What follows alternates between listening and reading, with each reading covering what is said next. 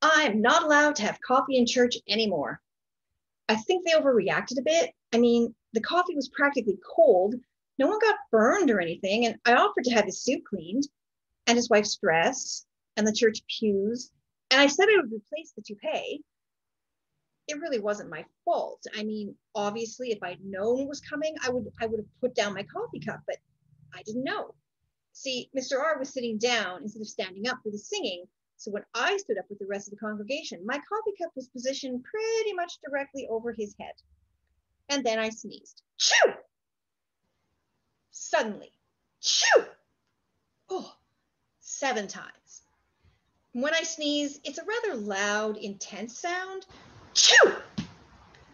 In fact, many people don't recognize it as sneezing at all. Some think I'm coughing, others think it sounds more like choking. Chew!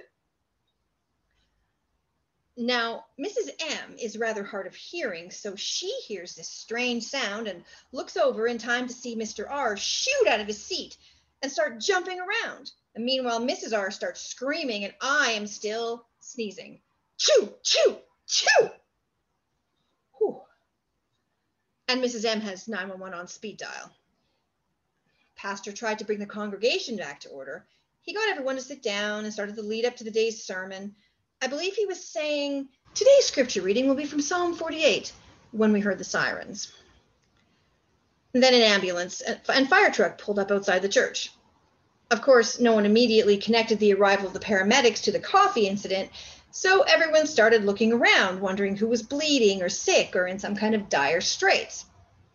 Parents headed for the nursery and Sunday school rooms. Someone remembered Mr. and Mrs. R, who were still mopping up in the bathroom, and assumed something bad had happened to them. Maybe he was burned after all, or the incident caused him to have a heart attack, or gave him cancer or something. Everyone was running around and talking all at once. There was so much commotion and chaos and then it got worse.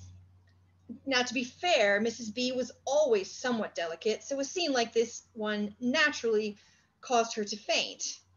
And naturally, she banged her head on a pew on the way down, which at least gave the paramedics something useful to do.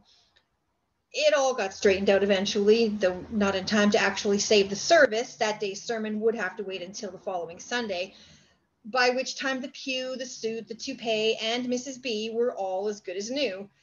And Pastor let me know that, of course, I was always welcome in church, but only if I leave my coffee at home.